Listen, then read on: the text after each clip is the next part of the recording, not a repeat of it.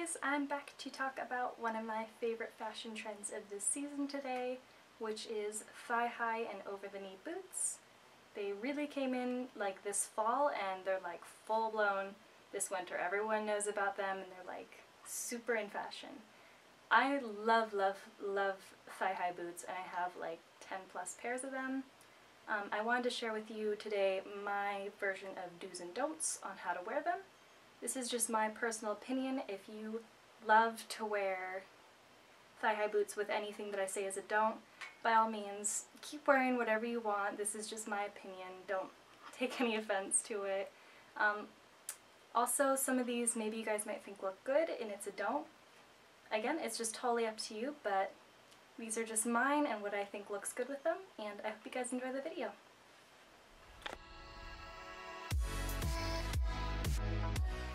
So this outfit here is a do. Um, a lot of times long coats will look really good with thigh-high boots because it helps balance the weight of the outfit.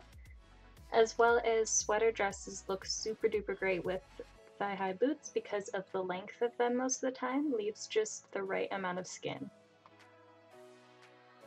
So this one here is a don't because if you wear super short shorts, especially if they aren't high-waisted, it can end up looking a little bit cowgirlish and leave a little bit too much skin showing.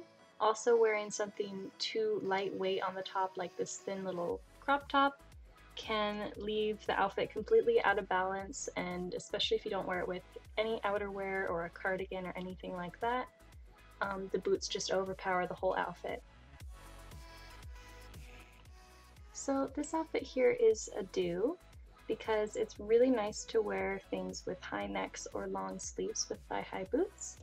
And since I'm not wearing a cardigan or a coat with this, I also added the scarf for more weight on top and it also matches the color of the boots.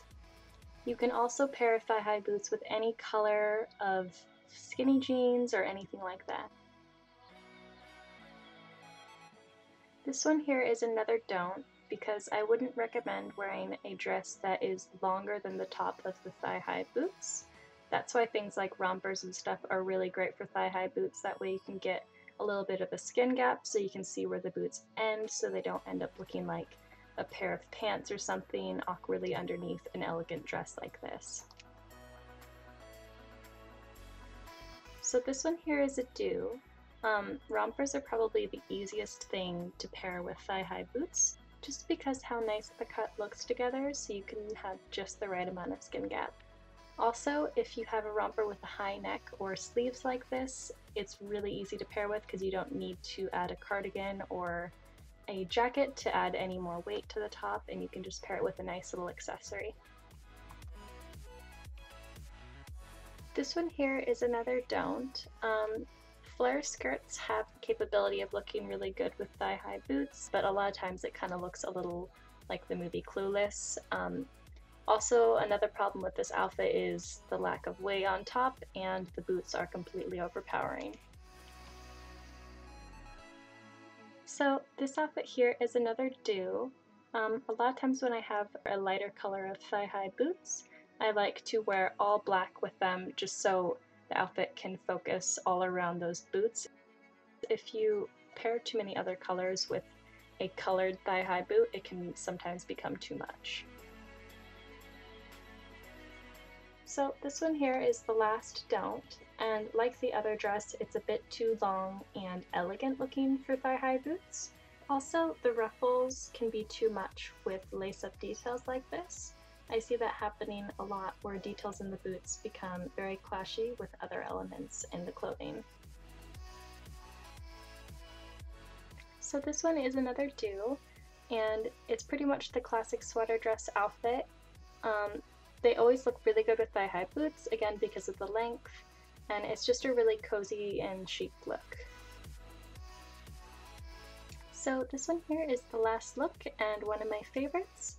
It pretty much combines everything that we were talking about. Um, it's a romper and also has a high neck with the choker.